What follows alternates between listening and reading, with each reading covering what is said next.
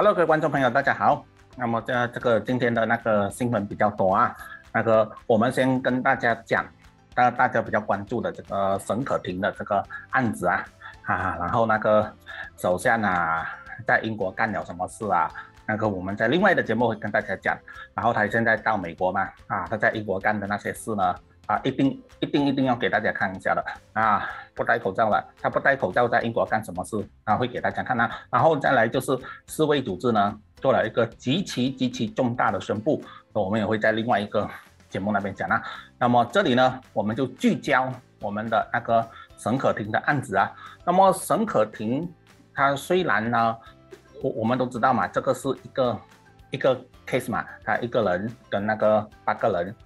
呃的那个 case，但是呢，它所产生的这个效应呢，它所产生的这个 impact 呢，它所产生的影响力呢，非常非常的大。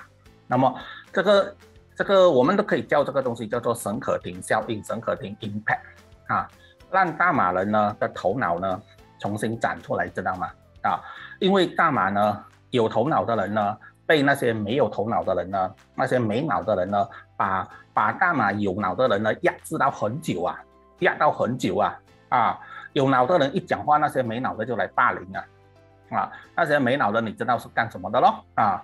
那些什么搞种族啊、搞政治啊、搞那些乱七八糟的东西啦，搞那些洗脑的东西啦啊！但是沈可婷的案子呢，让所有大马的有脑的人啊，不管什么民族，不管什么肤色，不管什么宗教呢，这回呢都非常非常的生气，全部都全部都站起来啊，全部都醒觉。全部都一起的，难得立场呢是一起的，立场呢是一致的，啊，因为大马人民呢是有脑的啊，不要像那些啊啊夜店可以开呀，然后不可以跳舞啊啊那那那种那种是没有脑的，哎，大马人呢是有脑的啊，大马人呐最近在国际很出名啊啊，好了，那么接下来我们来看一下那个沈可婷的那个 case 呢啊怎么样先呢？我们先看新闻先。那么，那么沈可婷的案子呢？之前我们可以讲说，他他完完全全是那个种族种族政治啊，那些搞那那那些人呢，在后面的搞教，知道吗？所以才会搞出那么那么，哎呀，那个啊，我们不好讲了。那么现在呢，难得有这个斯里兰，OK，这个我们的国巴斯里兰呢，现在他前啊联邦法院的这个法官呢，这个很大的法官啊。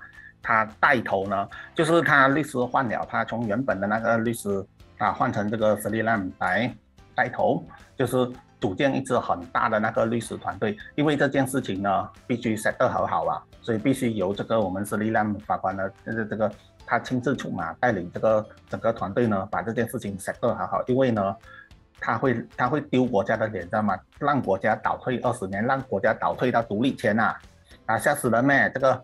然后，因为这个沈可丁的案子呢，他绝对让我们大马的那个司法界很难看。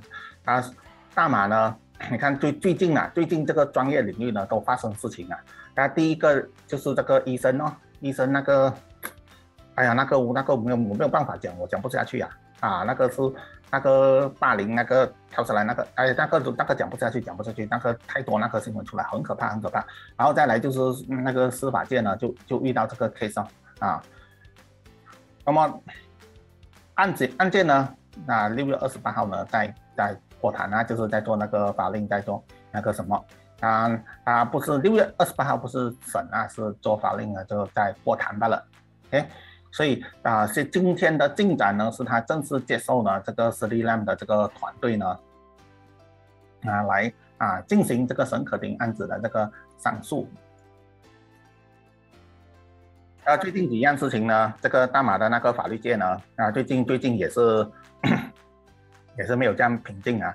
好像这个沈沈可婷案子是其中一个。如果沈可婷案子做不好呢，这个大马法律界呢也是不干了啊。因为有脑的人呢没有办法跟没有脑的人呢啊一起做事情，有脑的人呢没有办法跟这些没有脑的人呢同处一个国家啊。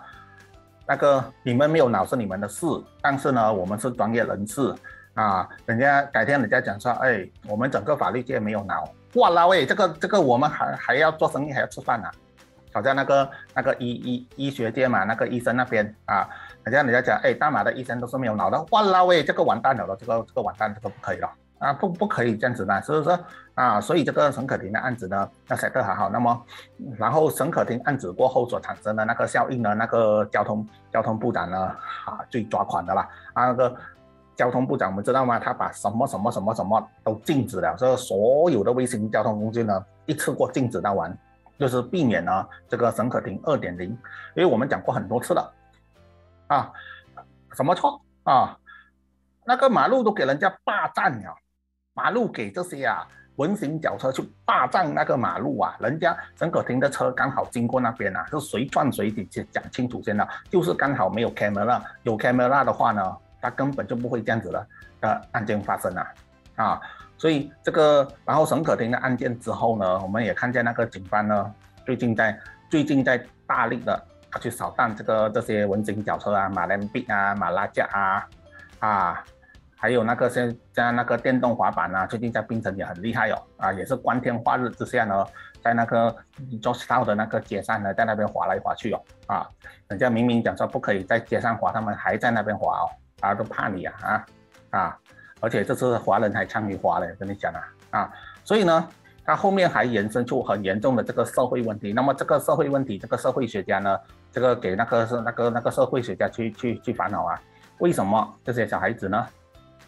啊，天天要去划这个东西？很简单哦，如果你不给他玩玩这个东西呢，他们就贡献啊贡献那个啊，哎呦那个我不要讲了，那大马已经拿亚洲第一了，还记得吗？大马亚洲第一，全球第四。你不给他们在外面玩这个东西呢，他们就去看那个喽。看那看看到大马亚洲第一，啊，天天看那个啦，天天看那个啊，道理啊，跟你讲，所以这个这些都是妥妥的社会问题啊。虽然沈可婷的案子是一个案子，是一个个案，但是后面延伸的问题呢，非常非常的严重啊，啊，非常非常多的问题呢，有待去解决啊。所以那个，呃，最近那个交通部长不平静嘛，啊，我来我们看一点点新。从那个卫星交通工具到那个飞机啊，那个呃马航也出问题，那个亚航就不用讲了啊，亚航终于终于终于搞一单大的了，他现在由那个啊部长呢限令他二十四小时回答，那么亚航呢已经在二十四小时里面回答，他讲发生很多事情了啊，那么我们就不，他讲什么小鸟又飞进他的 engine 啊，啊那个什么又漏水啦。人家又什么遇到什么不知道，不不不懂了。总之他说开斋节那那天呢，我们在亚航呢。总之你九点早上的飞机呢，凌晨两点才飞啊。哎，你们有没有试过啊？你的机票是讲九点飞的，他到凌晨两点他才把你带走啊。所以啊，所以这个东西呢也是有有要等待解决了。所以整个交通部呢啊也是很乱哦。昨天 LRT 又坏了。啊，还好还好，新加坡的那个 MRT 也坏了，不然的话呢，啊，是不是那个？所以呢，一大堆问题在那边等着去去解决啊。然后呢，这个沈可婷的案子呢，随着这个大的这么大的 lawyer 呢，那个前任法官呢，他出来 set 这个东西呢，他出来带领这个团队呢，就应该是没有什么事情了，应该应该那些冤判误判的情况不会发生了。那么那些黑暗政治势力呢，背后你不要再搞这个东西啊。啊，你这些没有脑的人呢，不要再侮辱我们大马有脑的人啊！你不要再来搞啊！啊，当有脑的人生气的时候呢，你们就知道你们的下场是什么啊！啊，好了，那那么张子报告到这里，那么我们下回见。